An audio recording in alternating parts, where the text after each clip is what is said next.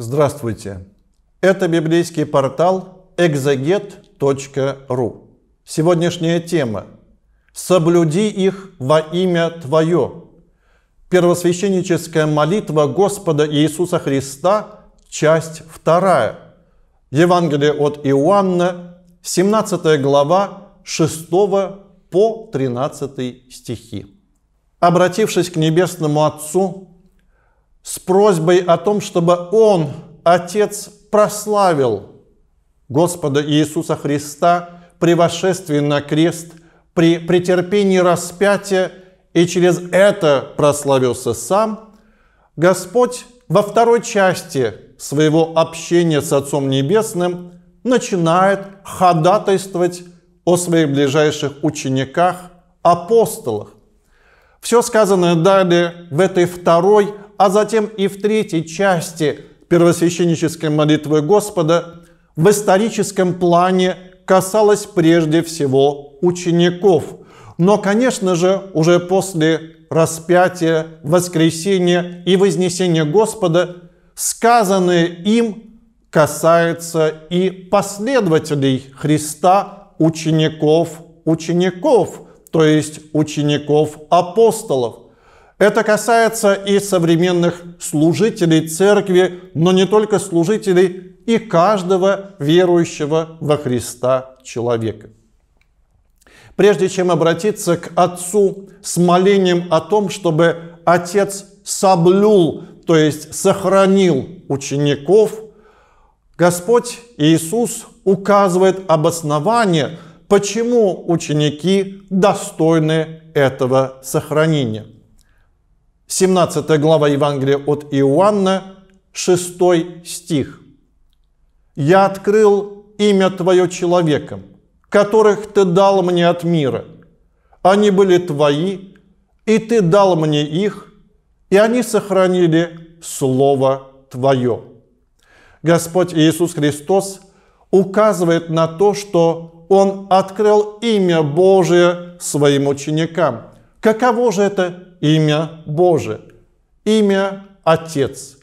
Христос неоднократно указывал на то, что имя Отец необходимо употреблять в разных смыслах, потому что когда он обращается, например, после воскресения к Марии Магдалине, говорит, «Пойди и скажи ученикам, вот я восхожу к Отцу моему и Отцу вашему, и Богу моему, и Богу вашему». Конечно же, Христос подчеркивает, для Него Отец Небесный является Отцом в прямом смысле. Он, как Сын Божий, равен Отцу. Но для нас с вами, для верующих и в Отца, и в Сына, Бог является Отцом в переносном смысле. Мы иные по природе, мы люди, мы творения Его.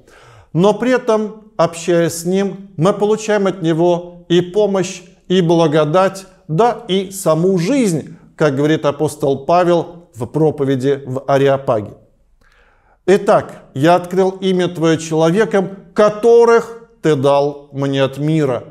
Христос подчеркивает, что именно Отец Небесный приготовил учеников к принятию Его Христова учения о Нем Отце Небесном. И они, ученики, сохранили Слово Твое конечно же, это слово Отца возвестил сам Христос. Они, ученики, сохраняют или соблюдают именно Слово Божие Небесного Отца. Но это есть показатель того, что они стремятся и далее быть с Отцом и Сыном. Седьмой стих. «Ныне уразумели они, что все, что Ты дал мне, от Тебя есть». Восьмой стих ибо слова, которые ты дал мне, я передал им, и они приняли и уразумели истинно, что я изшел от тебя, и уверовали, что ты послал меня. Указывает на то, что приняв его, Христа, Слово, ученики уверовали, что эти слова не есть слова какого-то самозванца, какого-то учителя, который учит от себя, но это есть слова посланника Божия, и эти слова – суть слова истинного Бога. Но через уразумение учения Христова ученики поняли, что и Христос исшел от Бога и уверовали, что Он послал Христа. И вот приведя это обоснование, что они узнали имя Отца, что они сохранили учение Отца, переданное через посланного им Господа Иисуса Христа, Господь далее в 9 стихе говорит, «Я о них молю, не о всем мире молю, но о тех, которых Ты дал мне, потому что они Твои». Что же, Господь молит только об апостолах, ну а впоследствии и об их преемниках, о верующих людях, и совсем не заботится о том мире, который был через него, через Слово сотворен, о чем говорит сам Иоанн Богослов в прологе? Конечно же нет. Чуть позже Господь Иисус Христос скажет, что для того, чтобы уверовал мир, что он есть истинный посланник Божий, необходимо будет проповедь апостолов. Поэтому, конечно же, дабы мир уверовал, вначале необходимо апостолов сохранить, а потом их осветить.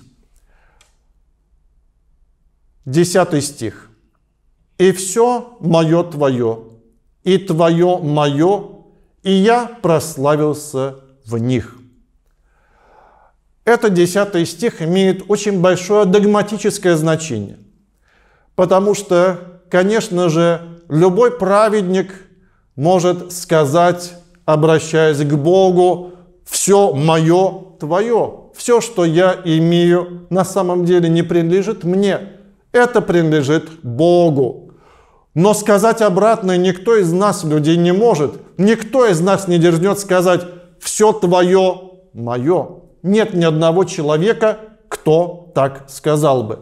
И вот когда Христос так говорит, Он через это выражение, через эту фразу еще раз указывает на свое единство по божеству с Отцом.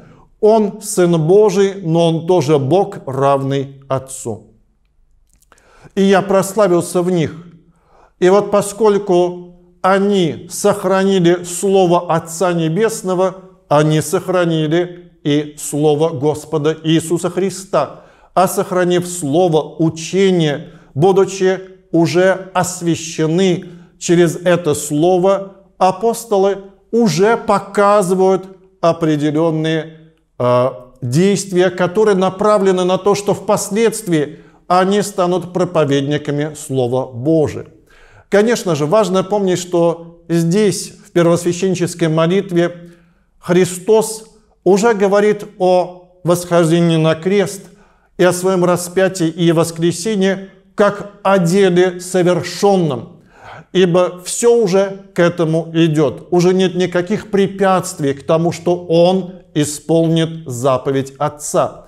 Поэтому, конечно же, в непосредственном плане эти слова «я прославился в них» уже относятся ко дню Пятидесятницы, когда Дух Святый исполнит сердца апостолов, они выйдут на проповедь, и огромное количество верующих начнет присоединяться к церкви, веровать в Иисуса Христа. 11 стих. «Я уже не в мире, но они в мире, а я к тебе иду, Отче святый, соблюди их во имя Твое, которых Ты мне дал чтобы они были едины, как и мы.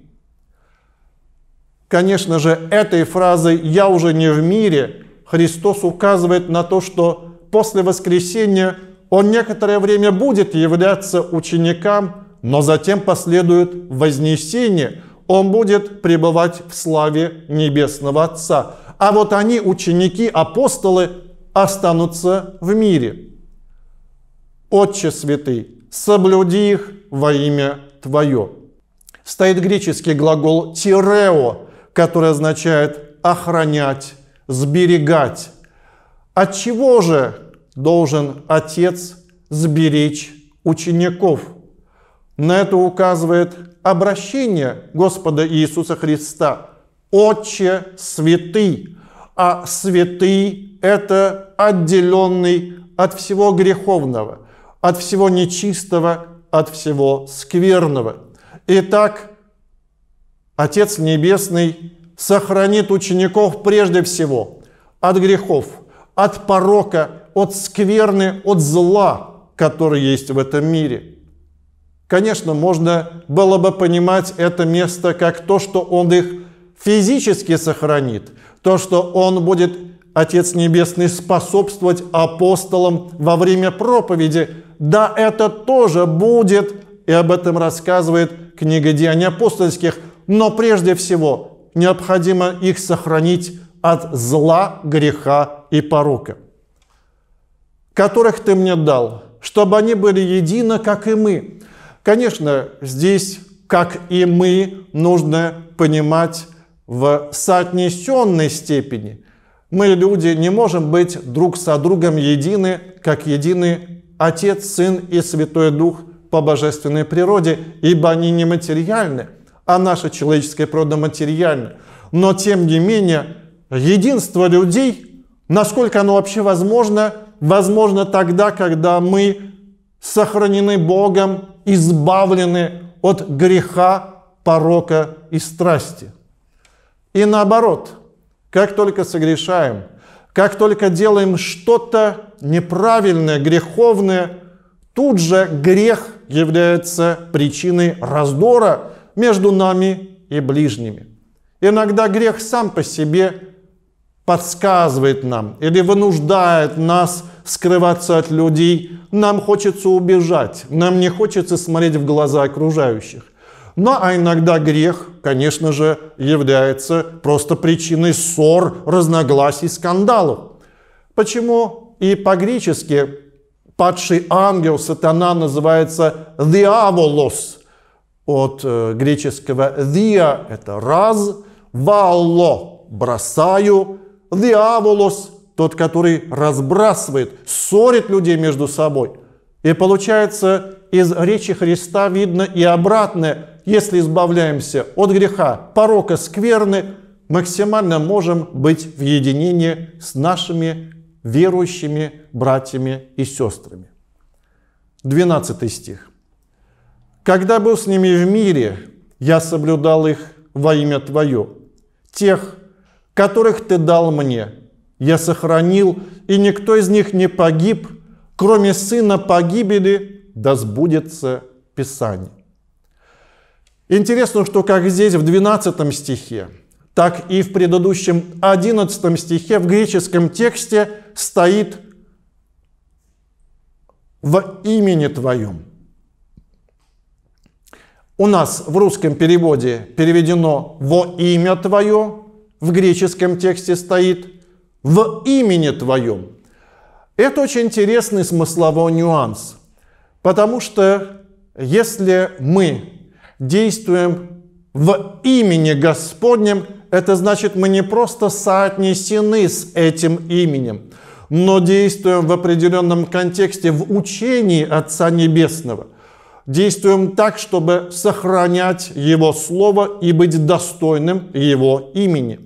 И вот поэтому Христос говорит, когда был с ними в мире, я сохранял их в Твоем имени.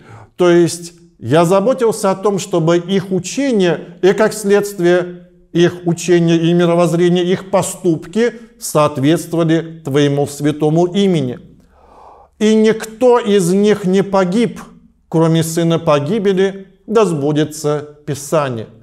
А погибает сын погибели тот, который был рядом со Христом, Иуда Искариотский, но благодаря злому произволению своей души, своей воли, Иуда Искариотский все-таки отпал от Христа. И не только отпал, но и предал его, так что стал именно тем самым сыном погибели. 13 стих. «Ныне же к тебе иду, и се говорю в мире, чтобы они имели в себе радость мою совершенную». Но теперь Христос, который сохранил учеников в имени Отца Небесного, после распятия воскреснет и вскоре вознесется. Он будет у Отца Небесного. И поэтому говорит, возвещает, греческий глагол «лалео», возвещает в мире, во Вселенной, чтобы они, ученики, имели радость, исполненную в самих себе. Ибо эта радость будет дана через действие Святаго Духа Утешителя. Таким образом, Господь Иисус Христос указывает, что несмотря на Его восшествие Небесному Отцу, если ученики будут избавлены Отцом Небесным от греха, порока и страсти, то они от Духа Святаго Утешителя получат ту самую совершенную радость, которая как раз и будет радостью, дающей им силы для того, чтобы проповедовать Слово Божие различным народам. Но эта радость еще не является окончательной целью ни сохранения учеников, ни их действия. Потому что в следующей части первосвященнической молитвы Господь Иисус Христос укажет на конечную цель. После сохранения учеников от зла и греха и порока, Он будет просить Отца Небесного, дабы Отец Небесный осветил их, и, конечно, вершиной этой святостью будет и взаимная любовь учеников между собой, их любовь к Богу, и, конечно же, их проповедь любви и их проповедь другим людям Отца Небесного в пребывании в любви со всеми окружающими. Это будет предмет молитвы Господа в следующей части первосвященнической молитвы. Большое спасибо за внимание. Внеси свой вклад, оцени, подпишись и поделись этим видео.